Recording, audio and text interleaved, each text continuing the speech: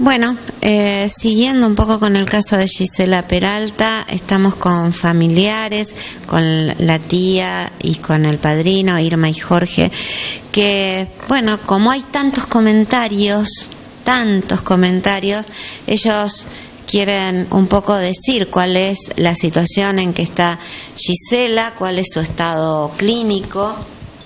Sí, ya todo el parte de ayer ya sabemos, o sea que estamos paso a paso con eso, eh, se está hablando al mediodía y a la noche con el esposo, de acuerdo a lo que le digan, él nos va pasando. Y bueno, el informe de ayer es por lo menos un poco más alentador al tema este de que van a empezar a lo mejor el viernes a hacerle la primera operación, que es lo que se está esperando, más allá de, que son varias operaciones. Seguramente van a arrancar con uno y bueno, y van a ir viendo paso a lo de ella, cómo ella está, el estado de ella para poder continuar con el resto. Pero bueno, lo de ella es estable, lo de la operación de acá, ella está estable, el doctor dice que de eso está bien.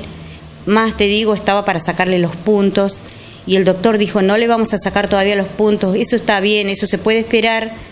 Eh, porque seguramente cuando va a cirugía para evitar algún virus o algo que pueda llegar a contaminar eso.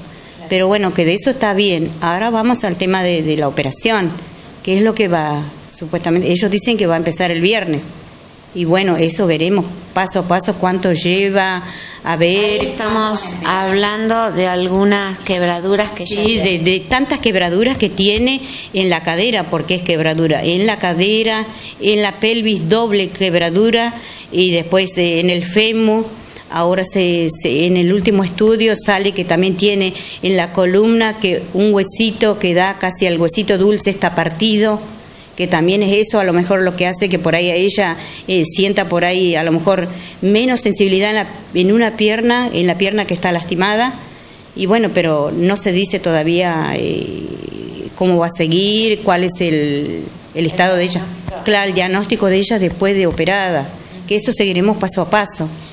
Pero bueno. Anímicamente, no, anímicamente yo no la he visto de acá, sí, de acá ella fue un poquito nerviosa por el estado de acá, pero bueno, allá fue a visitarla mi tía, que estuve hablando con ella anoche, y ella me dijo, yo la veo, o sea, bien, o sea, te conversa, se ríe, pero claro, el tema es cuando ella se queda sola, le pusieron psicóloga para que lo ayuden a, a, manejar el momento que está ella sola y todo eso, así que no, el ánimo de ella está, está, está, está estable, está bien, está bien, es como que hace fuerza que todo pueda hacerse cuanto antes para que ella pueda salir, es como ella dice.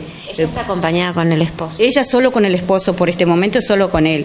Sí, sí, sí, así que es eso, más allá de, de todo, de toda la gravedad, es eso lo que estamos... Muy bien. Bueno, esto un poco es para llevar bueno, eh, la verdad en cuanto a tantos rumores que, que se dieron. Claro, claro. Se, se, decía muchas muchas cosas, pero ninguna de, de, las cosas fue verdad que ellos decían, bueno, que había una sola fractura de pelvis, que, que después, o sea, lo daban como, como una causa leve, pero desgraciadamente se fue complicando, complicando. Nosotros no salimos, nosotros no salimos a, decir, si bien, si bien somos gente de trabajo, hacemos lo que podemos y no salimos a pedir ayuda, a pesar de que lo necesita él allá, nosotros queremos aclarar que no, que no, la, la, la, verdad, porque nosotros hicimos una marcha apoyando a las compañeras de ella, nosotros como familiares, pero acompañaron a, las compañeras, sí, sí, para que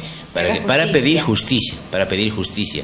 Y que no queremos tampoco que, que se diga que no que salimos a hacer ruido o molestar a alguien si y si a alguien le, le causamos problemas le pedimos disculpas sobre sobre, sobre eso, pero, pero no fue nuestra intención hacerle pasar mal momento a nadie, sino salir a pedir justicia, justicia lo que queremos.